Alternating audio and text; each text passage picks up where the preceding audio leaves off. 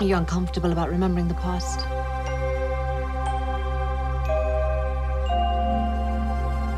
Thank you for being a good brother to me. Your brother's seriously mentally ill.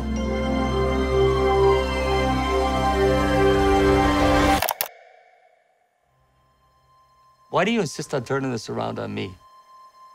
Because you're his twin, aren't you?